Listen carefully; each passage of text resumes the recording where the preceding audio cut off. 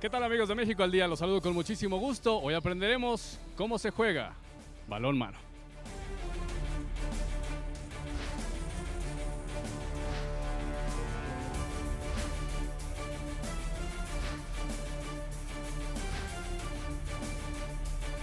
Para pasar la posición, el armado de brazo principalmente es así, o sea, a 90 grados el brazo y ya de aquí sacas el, el pase. ¿Qué tienes que hacer para defender bien el balón mano? Buena velocidad para desplazarse, necesitas tener movilidad de las piernas para alcanzar a cerrar los, a los atacantes. Tú no puedes tocar al jugador por detrás, ya una vez que te superaron, ya cualquier toque, sea dentro del área o sea afuera, eh, dos minutos, y si ya está dentro del área es penal. Como ven, no se está desplazando, entonces por eso lo están llevando.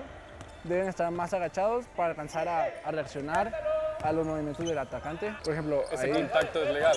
sí, a ese, Ese ya no. Ah, sí, también porque fue de frente. Lo básico para un atacante es ir hacia los espacios. Lo que vas a generar ahí va a ser juntar a la defensa y seguir el ataque para crear más espacios y poder entrar libre. Un delantero ya no puede pisar aquí, ni No. un defensa. ¿Qué pasa si yo piso aquí? Yo como atacante. Eh, te marca área. Normalmente el área es cuando ya un jugador pisa y la jugada va para el equipo contrario. Cuando se levanta la mano aquí, significa pasivo. Es cuando esa consideración del árbitro. Cuando no hay un ataque sucesivo, se podría decir. ¿Y cuánto tiempo tendrías para terminar la jugada? Al momento que levantan ellos. Normalmente son seis pases. Antes eran 30 segundos. Ahorita ya se consideran seis pases. Pasando los seis pases, ya pierdes el balón automáticamente. ¿Qué características físicas debe tener un portero de balón mano? altura y velocidad. Esas dos son esenciales para ser portero. Y reacción, también reacción. Y hasta acá arriba siempre. Hasta acá arriba, acá no, ni aquí. Porque te vas a tardar en subir los, los brazos o acá también. Te vas a tardar en subir los brazos. Y es más fácil bajarlos que subirlos obviamente. Y aquí está. Esta es la posición de portero. Tras las explicaciones decidimos probar suerte, iniciando con la portería. Creo que no lo hice tan mal. Me duele este dedo.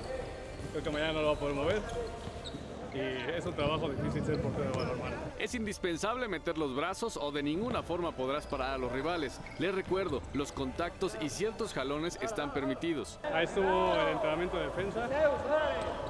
Creo que bastante malo esta vez. Ahora vamos a atacar a ver qué tal nos va. Las rotaciones entre jugadores son fundamentales para abrir los espacios necesarios para poder anotar. Como siempre la invitación es a que hagan deporte y qué mejor si empiezan hoy en el balón mano. Para México al día, Jorge Rubio.